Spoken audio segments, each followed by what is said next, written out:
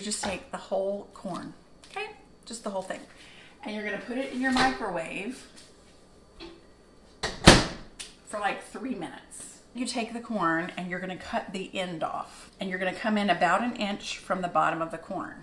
Okay, so here's the stalk part, and then you come in about an inch. Let me get my hot pad again.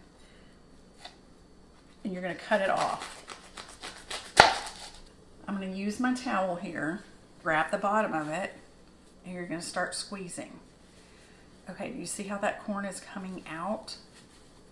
With no silks on it. Mom, I hope you're watching. Oh my gosh.